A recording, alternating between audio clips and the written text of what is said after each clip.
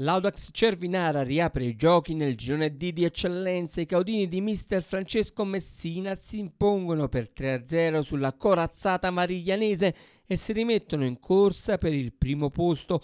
La squadra cervinarese, dopo aver colpito una traversa con Befi e un incrocio con Guarro, dilaga nella seconda frazione di gioco e Befi a sbloccarla su un'incertezza del reparto arretrato ospite. Nel finale i padroni di casa raddoppiano sempre col centravanti e trovano la terza rete con Petrone in pieno recupero. Ora i biancazzurri di Patron Giordano sono ad una sola lunghezza dal primo posto. Quinto pareggio per 0-0 in 6 partite per il Lions Mons Militum che Alfina non sfonda contro il città di Avellina e Clanese di Raffaele Biancolino, un punto che taglia fuori o quasi entrambe dalla corsa alla terza piazza. La Polisportiva Lioni di mister Salvatore Sicuranza invece ha vinto in rimonta a Palma grazie ai gol realizzati da Ripoli e da Cirno, una vittoria importantissima e salutare per i rossoblù.